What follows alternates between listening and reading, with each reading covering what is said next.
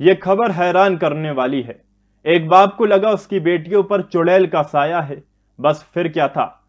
बाप ने जादू टोने के चक्कर में पड़कर अपनी बेटियों को तमाम यातनाएँ दी और उनकी जान ले ली। यह हैवान बाप अब सीखचों में है। काशीपुर में 25 नवंबर को हुए डबल मर्डर के मामले में पुलिस ने मोहल्ला खालिद कॉलोनी निवासी अली हसन को गिरफ़्तार किया है।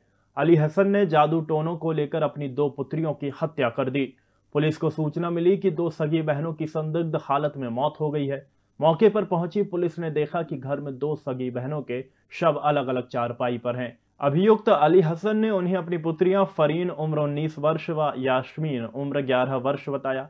दोनों शवों की हालत बेहद खराब थी, उन्हें चादरों से ढक कर रखा था। इस मामले का पुलिस ने खुलासा करते हुए बताया कि अली हसन और उसका परिवार तंत्र मंत्र पर काफ़ी विश्वास रखता था। परिजनों ने बताया कि उनके घर पर चुड़ैल का साया है, जिसने उनकी दोनों बेटियों फरीन और यास्मीन को अपनी पकड़ में ले रखा था। उनके शरीर से चुड़ैल के साय को बाहर निकालने के लिए अभियुक्त अली हसन ने अपनी दोनों बेटियों को भूखा प्यासा रखकर तरह तरह की यातनाएँ दी।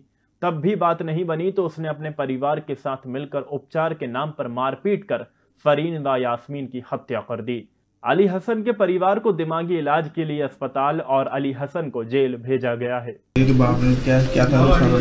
देखिए 25 नवंबर को हमें काशीपुर में सूचना आई कि एक अली खान करके एक व्यक्ति है वो पैसे पेशे से राजमिस्त्री है परंतु झाड़ भोग का काम करता है। उसके घर में उसकी दोनों बेटियाँ उसकी दोनों बेटियाँ जिनका नाम है यास्मीन और फरीन फरहीन।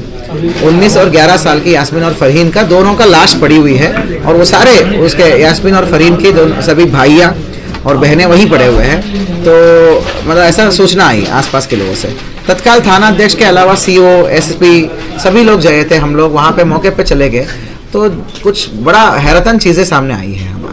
वो है कि ये भूत प्रेत को निकालने का, चुड़ैल को निकालने का तंत्र मंत्र अंधविश्वास और ब्लैक मैजिक काला जादू, इसका वो प्रैक्टिशनर था। ये खुद ही ये काम करता था। वैसे तो कहता है कि राजमिस्त्री का काम करता हूँ, पर राजमिस्त्री का काम हमने जानकारी किया, बहुत ही कम करता है इक्का दुक्का चार पाँच दिन करता है महीने में। बाकी टाइम में कहीं मजार पे झाड़ फूक करना, अपने ही घर में लोगों का झाड़ फूक करना, ये काम करता है। तो इस पूरे परिवार जो है, मानसिक रूप से अस्वस्थ थे।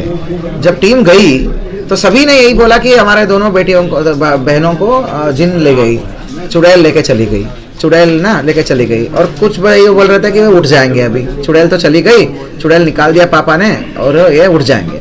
तो इतनी अंधविश्वास है किसी ने पढ़ाई नहीं करी नॉट ए सिंगल पर्सन उसने पढ़ाई नहीं करा। इन्होंने ये विश्वास पे थे कि ये दोनों बहनों को चुड़ैल आता है करके, जबकि ये तो टीनेजर्स थे, कभी कोई अपसेट होते होंगे या मानसिक रूप से कोई बीमारी होता होगा या वैसे ही भी होता होगा। तो पोस्टमार्टम में बहुत ज़्यादा इंजुरीज आ गई। मतलब शरीर पे विभिन्न जगहों पे चोटें आ गई है, बदन पे बस, है ना? और गले पे भी दबाने का निशान वो सब है। तो तत्काल जो है कानूनी रूप का कार्य करते हुए चौकी इंचार्ज की वापसी में हमने दोनों बहनों की, फरीन और आपका यास्मीन का, फरीन और यास्मीन का बहनों की हत्या का मुकदमा हमने चौकी इंचार्ज की तरफ़ से दर्ज करा दिया।